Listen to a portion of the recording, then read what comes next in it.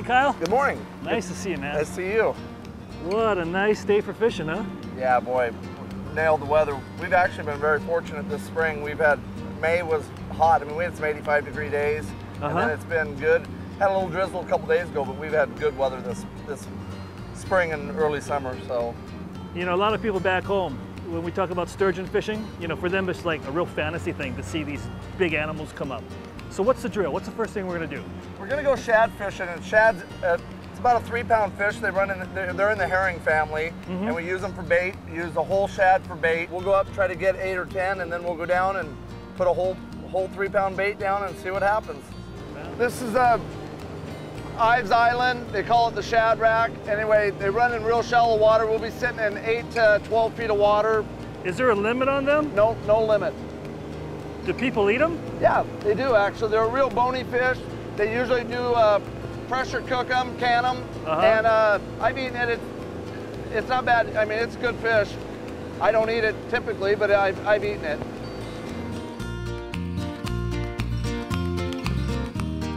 Basically, it's a real simple setup. Two foot dropper, 30 inch leader. Basically, you're just fishing the lead right on the bottom. So if you rod goes down, you'll know you got one on. You don't need to set the hook. We're not, it's not Bassmasters. We just pick up the rod and start reeling and, and don't horse them because we lose, you lose about every other one. So There we go, fish on.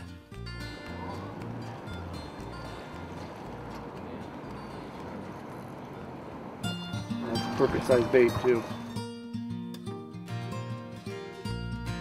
Kyle, first first fish of the day, huh? First, first, first bait of the day. Most people can't imagine that you use that for bait. Probably a two and a half pound shad, but that's what we're gonna go after the big sturgeon with is a whole bait like this. So need about eight or 10 of them and we'll be uh, ready to roll. Do you have to keep them alive? No, put them on ice, pack them on ice and don't let them soak in the water. It makes them mushy. Just put them in a bag and pack them right on ice. Right on, Keith.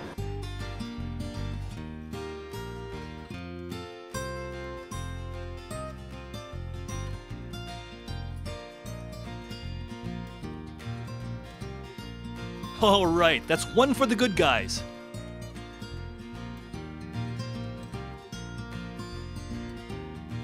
We're in there. We've learned how to catch shad.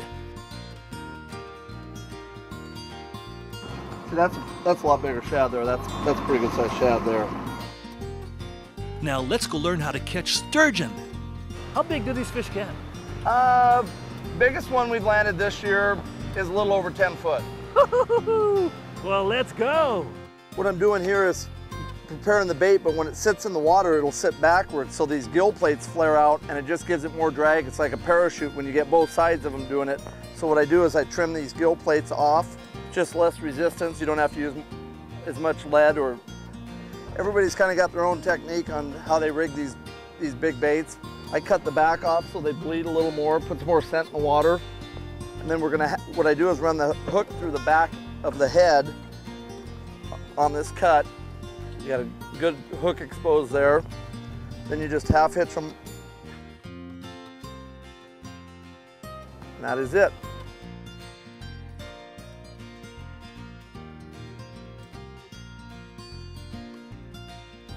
In the current we got out here about 32 ounces of lead. So two pounds of lead is what we need to do to put a bait down that side. We're in 74 feet of water. On these big baits, you just let them chew. I mean, when that rod starts going, they'll, it'll start going, it'll start going. You just let it go, let it go. And I mean, it, they, they'll just bury it and line will be peeling off the reel.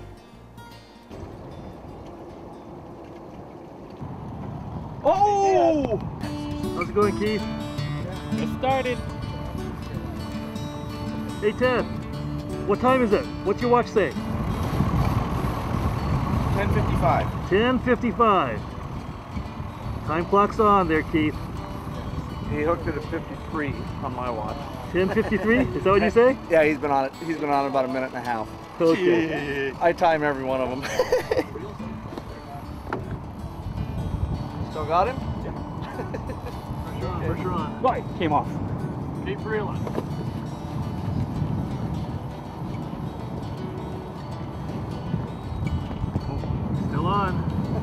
Still on. Go. Boy. They get wrapped up. That's what you just. You Felt. think you come off, you just keep reeling. You know, your brother would have had this in by now. Oh, wait a minute, your little brother.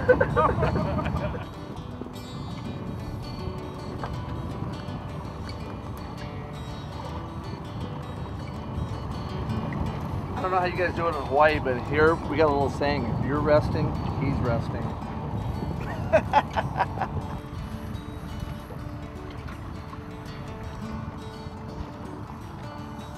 It's a lid. Ooh, that's a good one. okay, time, time. I got 801. Clock's still running. We haven't got them turned upside down yet.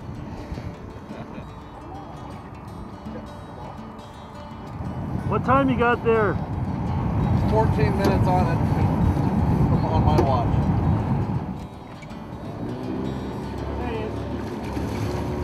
Come on, Keith, you're giving them back the line.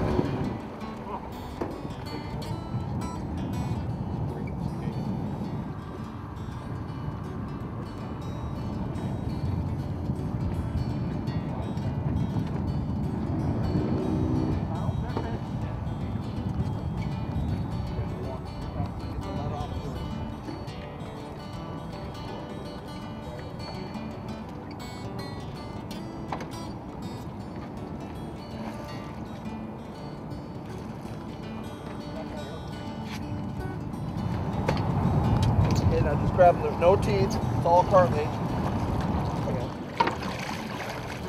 Okay. Okay, now you take him. Okay, got him.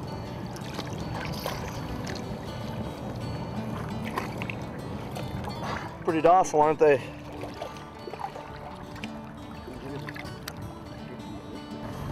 Man, how big do you think this guy is? She'll go three, three and a quarter. Uh, how many minutes did it take? You got about probably 17 minutes, which is good.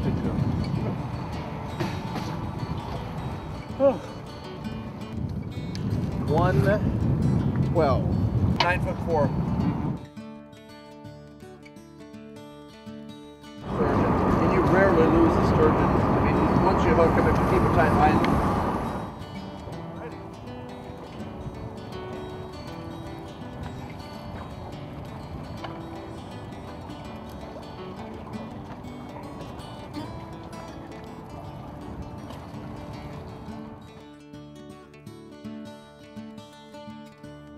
Chef, what's on the menu? Uh, teriyaki pork and rice and beans. Who's the cook? Uh, my wife does does all the lunches the night before. You know how this goes. When you take your mind off of fishing, that is exactly when the fish will bite. Still got it? I don't think so. I think Yeah, just keep reeling. Faster, faster, faster.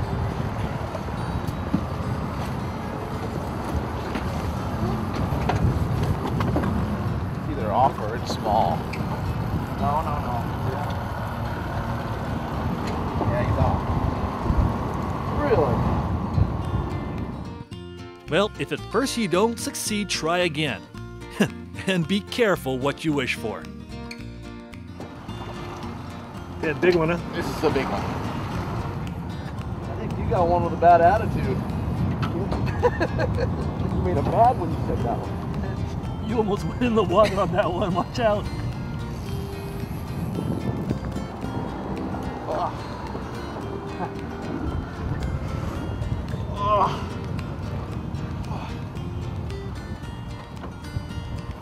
Who's got who? He's got me.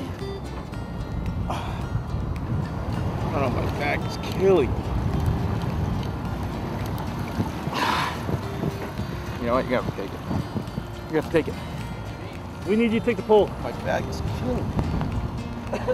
Oh, there he goes. Tuck and run. There. Don't yeah, don't hurt your back. We got another day of this.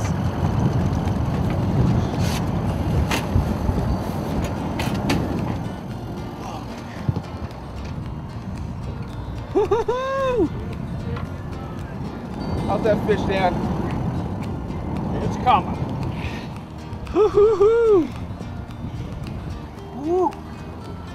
Tough guy right there. this, guy, is this guy beating you too?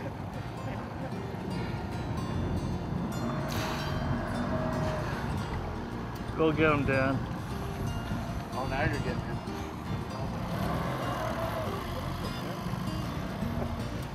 I think you broke his spirit, Dan. Unless you need help. He's all yours.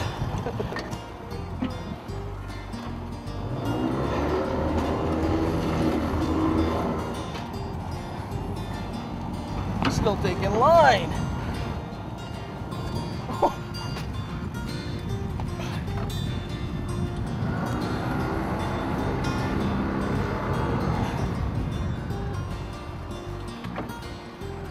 No more breaks now. You finished this fish.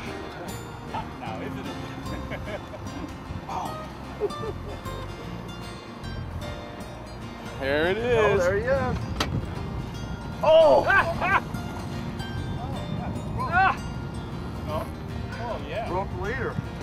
Nope, just came undone.